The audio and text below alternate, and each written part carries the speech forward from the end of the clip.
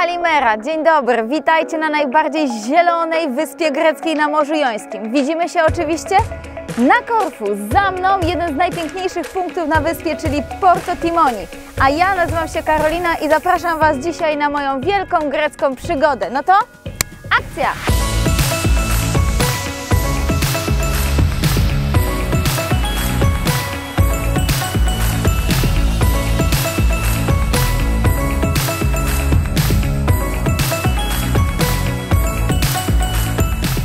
Za mną Korkira Beach Hotel. Chodźmy bliżej poznać go od środka. Jesteśmy w części wspólnej hotelu, pamiętamy? Tu jeszcze chwila z maseczką. Poza recepcją oczywiście maseczkę chowamy głęboko do kieszeni.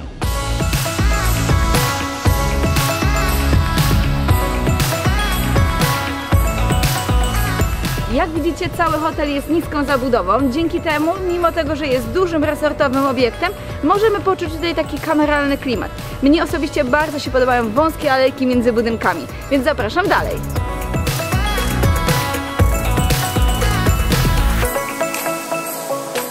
Plaża hotelu jest pieszczysto-żwirowa. W tym miejscu jest łagodne zejście do wody, więc spokojnie możemy się czuć bezpiecznie nawet z dziećmi. Cała plaża jest zatokowa, więc woda jest naprawdę spokojna. Jak widzicie, jestem w miejscu, gdzie możemy również skorzystać z opcji sportów wodnych. Myślę, że to fajna alternatywa, żeby sobie troszeczkę urozmaicić taki wypoczynek. Zdecydowanym plusem tego hotelu jest to, że serwis na plaży, czyli leżaki, parasol, mamy bezpłatny. Hotel Korkira Beach oczywiście ugości nas nad basenem. Nie jednym, a dwoma. Pierwszy basen to basen Laguna.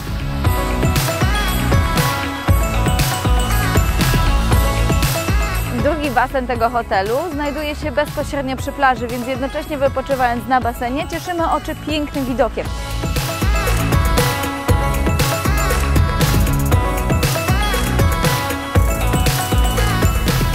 Opór, jak widzicie, był zbędny. Tutaj każdy da się ponieść temu wakacyjnemu klimatowi.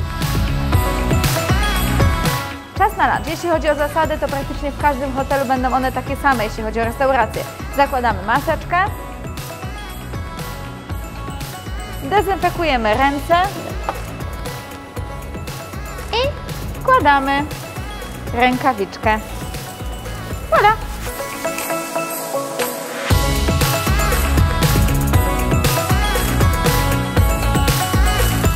Plaża piaszczysto-żwirowa z cudownymi widokami. Kolejnym atutem tego hotelu jest lokalizacja, bardzo blisko miasta Korfu. Jedzenie na 5 gwiazdek. Przybądźcie i zobaczcie sami.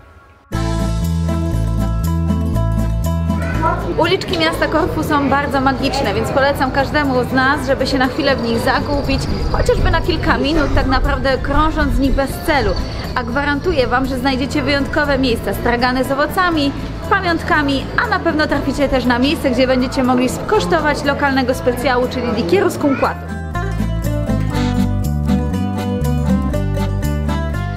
Oczywiście nie zabraknie nam atrakcji turystycznych, począwszy od starej nowej twierdzy, gdzie będziemy mogli podziwiać piękną panoramę na całą wyspę. Polecam przespacerować się na plac Spineda, by podziwiać piękną naturę, kolorowe kwiaty, piękne drzewa i wczuć się w ten klimat i poczuć niezwykłą atmosferę tego miejsca.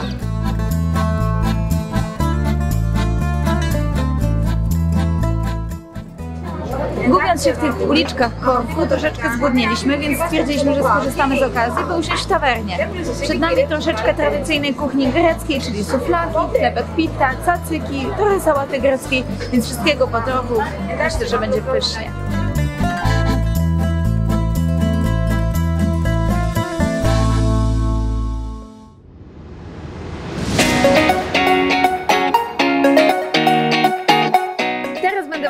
Gościć w naszym hotelu Dacia Club Holiday. Jest to hotel trzygwiazdkowy z wyżywieniem all inclusive. Zapraszam!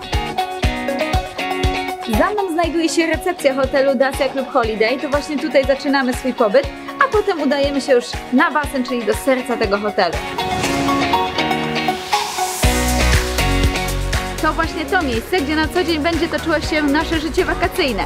Leżaki i parasole oczywiście obok mnie są bezpłatne. Nieopodal znajduje się bar, jak i snack bar, gdzie będziemy mogli korzystać z formuły all inclusive. W hotelu Dacia również mile widziani są oczywiście ci mniejsi goście. poza tym, że mogą się bawić w głównym basenie, mamy dla nich również brodzik.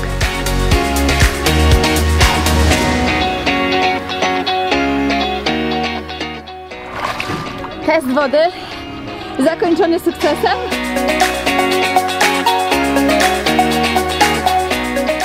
Dacia Hotel możemy wypoczywać nad dwiema plażami. Pierwsza jest 850 metrów od hotelu, druga, ta na której się znajdujemy, plaża Ipsos, oddalona około 3 km od hotelu.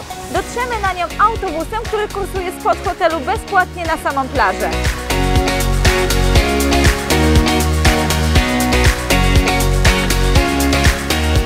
Kolacja w hotelu Dacia to ten moment, kiedy będziemy rozkoszować nasze podniebienia. Mamy tutaj mięsa, makarony, ryż, owoce, warzywa, wszystko czego potrzeba, a kątem oka widzę, że po drugiej stronie czekają też słodkości. Podsumowując, hotel Dacia Club Holiday jest to zdecydowanie dobra opcja dla rodzin z dziećmi, które chcą podróżować, bo jesteśmy blisko miasta Korfu. Natomiast jest to wygodny pobyt, mamy formułę all inclusive, mamy bardzo ładnie zagospodarowany, zielony teren, także na pewno można tutaj również miło wypocząć, stworzyć fajny klimat. Tego Wam właśnie życzę.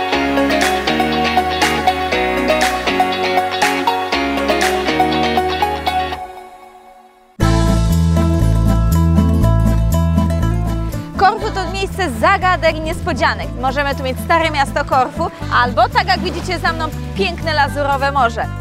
Właśnie znajdujemy się w miejscowości Paleo Castrica i jest ona oddalona od Korfu tylko jakieś 20 minut jazdy autem. Co jest plusem takich wysp? Właśnie to, że wszędzie mamy blisko. Możemy być wszędzie tak naprawdę jednego dnia. Teraz pokażę Wam hotel, który będzie idealnym miejscem dla osób, które będą szukały świetnej bazy wypadowej na Korfu. Więc zapraszam do poznania hotelu Aleksandros czterogwiazdkowego.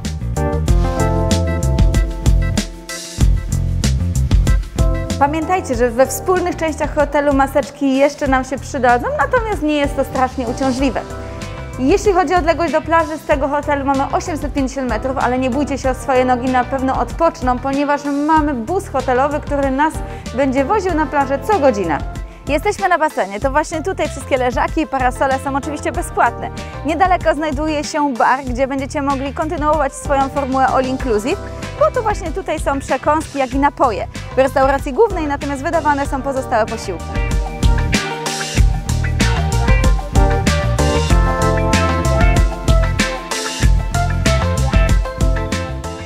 Każdy wie, jemy pierw oczami, więc u mnie oczywiście musiało być kolorowo na talerzu. Mamy rybę, mamy lasagne, sałata grecka, także musi być na bogato. Niedaleko hotelu znajduje się niewielka marina. Jest ona otoczona tawernami greckimi, więc na pewno będzie można skosztować lokalnych specjałów.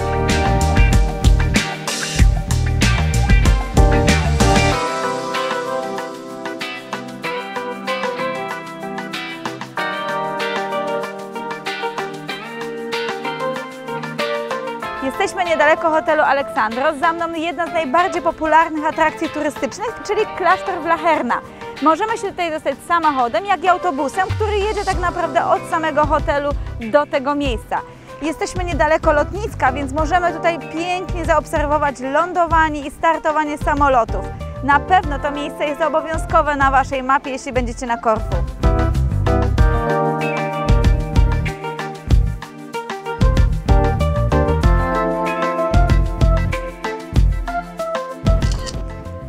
Myślę, że dla takich zdjęć warto wejść te kilka stopni do góry, bo nawet amatorzy kamery znajdą tutaj swoje złote zdjęcie. Podsumowanie hotelu Aleksandros. Jest to czterogwiazdkowy obiekt z świetną lokalizacją, blisko miasta Korfu, blisko zatokowych małych plaż. Na pewno tutaj będziemy mogli nacieszyć oczy pięknymi widokami, plus do tego dla osób, które lubią oglądać samoloty, na pewno zobaczcie tutaj wiele ciekawych maszyn. Udało się Karolinie spotkać Karolinę w greckim Korfu. Karolina jest naszą rezydentką, więc zadamy jej kilka ważnych pytań. No to Karolina, jak to jest z tymi fakultetami? One się odbywają, nie odbywają, wycieczki są, nie ma ich? Wycieczki się odbywają, jest bardzo duże zainteresowanie. Super, a powiedz mi, ta szczęśliwa grupa turystów, którzy już przybyli na Korfu, jacy oni są? Zadowoleni, przestraszeni? Są uśmiechnięci, zadowoleni, żądni przygód. Mnie przekonało wszystko, także jeśli Wy chcecie przyłączyć się do tej grupy ludzi wypoczywających w Grecji, czeka na Was Korfu, jak i Karolina już na samym lotnisku, także do zobaczenia. Zapraszam.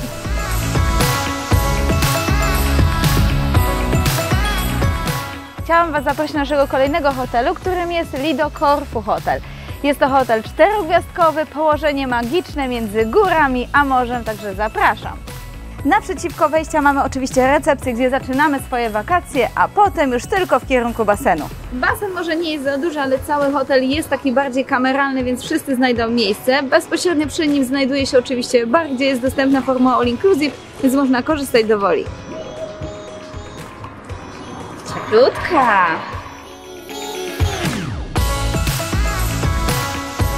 Hotel z radością przyjmie oczywiście najmniejszych turystów. Za mną macie mini plac zabaw, w basenie dostępny również brodzik.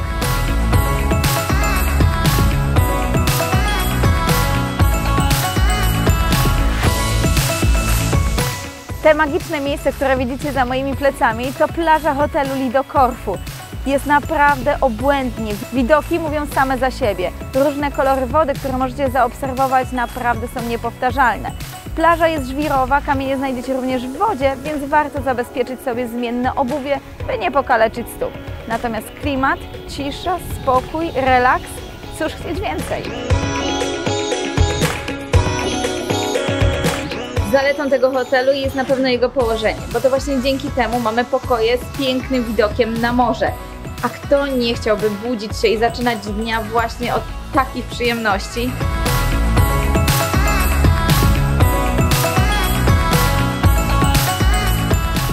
Takim widoku jestem pewna, że każda kolacja zamieni się w tą wyjątkową, niezapomnianą, romantyczną chwilę.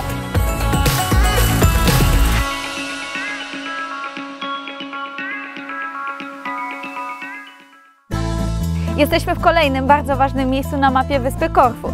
Za mną Pałac Cesarzowej Sisi, potocznie zwany Achillonem. Jest on otwarty dla zwiedzających, cały parter, więc możemy wejść do kilku pokoi i zobaczyć, jak się to zachowało.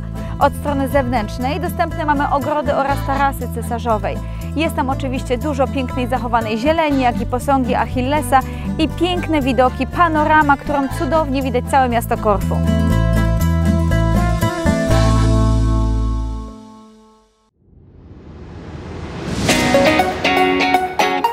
Kolejnym naszym przystankiem będzie Daskalox Complex. Zapraszam Was serdecznie, by zobaczyć to bardzo magiczne i przytulne miejsce.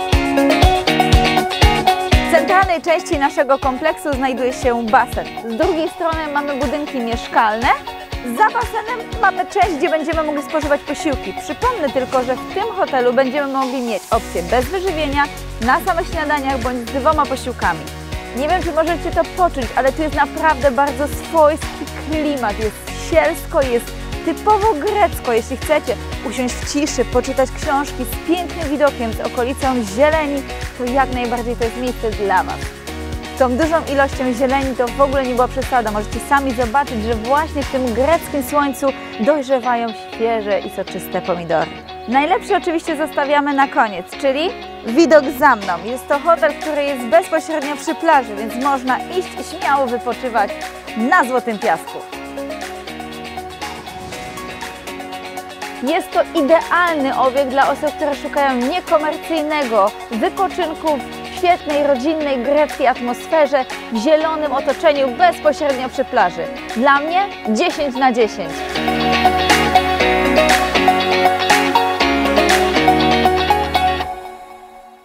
Chciałabym Wam teraz przybliżyć nieco zasady wjazdowe do Grecji. Nadal bez zmian możemy tu podróżować na dowodzie osobistym bądź paszporcie. Zmiana dotyczy tego kolejnego kroku, czyli by wjechać do Grecji musimy posiadać kod QR. Kod QR jest do wygenerowania przed wylotem. Wasi doradcy w biurze na pewno Wam będą o tym przypominali. Kolejną ważną kwestią musimy posiadać zaświadczenie, że jesteśmy albo osobami zaszczepionymi, albo ozdrowieńcami, albo jeśli nie należymy do pierwszej bądź drugiej grupy klientów, musimy posiadać test negatywny oczywiście na COVID-19. Takie kody potwierdzające jedną trzech grup możemy uzyskać z naszego internetowego konta pacjenta, bo od 1 czerwca Grecja, jak i Polska przystąpiła do paszportu covidowego. Więc w jednym miejscu możecie, w zależności do której grupy należycie, wygenerować dla siebie odpowiedni dokument. Teraz pokażę Wam hotel La Branda Sandy Beach. Jak widzicie, autokar z turystami podjechał, więc oni zaczynają swoje wielkie greckie wakacje. Hotel La Branda to naprawdę duży resort. Na tej mapie pokażę Wam, jak łatwiej się w nim rozeznać. Pierwsza część to oczywiście recepcja, którą widzicie za mną. Następnie idziemy na strefę basenową razem z mini klubem. Potem mamy znowu basen, bar przy plaży, no i oczywiście plażę. Hotel La Branda to świetna alternatywa dla rodzin z dziećmi, więc ten właśnie basen będzie dla tych najmłodszych z Was. Tu mamy zjeżdżalnię. Obok mini klub, natomiast cały basen jest oczywiście dostępny dla wszystkich. Niedaleko mamy bar z przekąskami, napojami, bo nie zapominajcie, że ten hotel prowadzi wyżywienie all inclusive. Oczywiście leżaki, parasole dostępne przy każdym basenie są bezpłatne. Hotel jest bardzo sprytnie skonstruowany na tyle, że nie mamy daleko do najbliższego baru, gdzie możemy skorzystać właśnie z przekąsek czy napoi. Do restauracji, jak i do swoich pokoi też mamy całkiem blisko, w zależności od basenu, który wybierzecie na swój wypoczynek. Hotel Abranda jest dużym, resortowym, rozłożystym obiektem, więc jeśli komuś tylko już nogi odmówią posłuszeństwa, zawsze można wypożyczyć rower, hulajnogę elektryczną, a nawet wózek spacerowy dla dzieci. Plaża jest bardzo długa, więc spokojnie po wyjściu w hotelu, udając się w lewo, dojdziecie do pobliskiego jeziorka, gdzie na pewno wyjdą świetne wakacyjne zdjęcia. W drugą stronę idąc dojdziecie do niewielkiej miejscowości restauracji, tavern, gdzie będziecie mogli wypić kawę, jak najbardziej zaopatrzyć się w niewielkie pamiątki. Na plaży również są możliwości uprawiania sportów wodnych. Znajdzie się tutaj miejsce dla każdego. Mamy strefę relaksu, mamy strefę dla dzieci, animacyjną i co najważniejsze, piękną, piaszczystą plażę. Ten hotel zdecydowanie już jest gotowy na wakacje. Pytanie, czy Wy jesteście gotowi? Walizki już spakowane?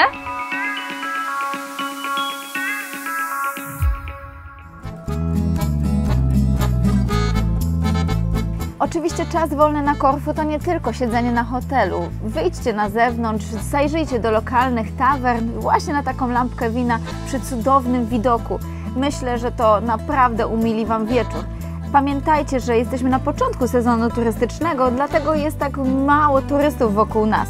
Myślę, że jeśli chcecie mieć Korfu na wyłączność, to jest to ostatni moment, by się na tą chwilę relaksu i ciszy załapać.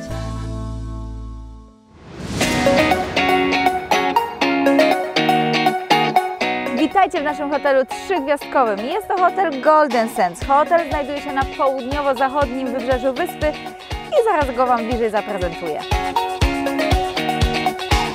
Ten hotel ma wyżywienie w formule all inclusive, czyli trzy posiłki w formie bufetu. Za mną mamy restaurację. Część restauracji jest pod zadaszeniem, druga jest na zewnątrz. Po przeciwnej stronie mamy recepcję, gdzie oczywiście będziemy się kwaterować. Za mną basen, wokół mnie leżaki, parasole, no oczywiście bezpłatne, ale co ciekawe, łóżka balijskie też są bez opłat, także każdy może z nich skorzystać. Dla wszystkich gości dostępne jest miejsce do gry w koszykówkę, jak i do gry w tenisa.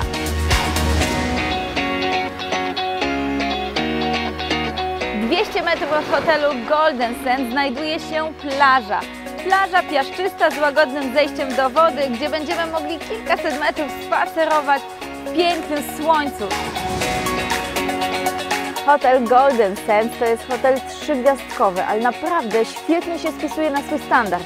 Przede wszystkim jego plusy to lokalizacja. Blisko plaży, blisko centrum miasta jest możliwość wyjścia, pospacerowania, naprawdę